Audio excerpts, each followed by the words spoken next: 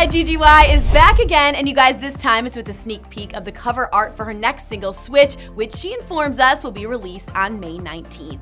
Taking to her Twitter to share the artwork in all its glory, she also confirmed that the song will feature Brazilian singer Anitta. Now, this collaboration isn't a total surprise to fans because a few weeks ago she teased snippets of it on her Snapchat.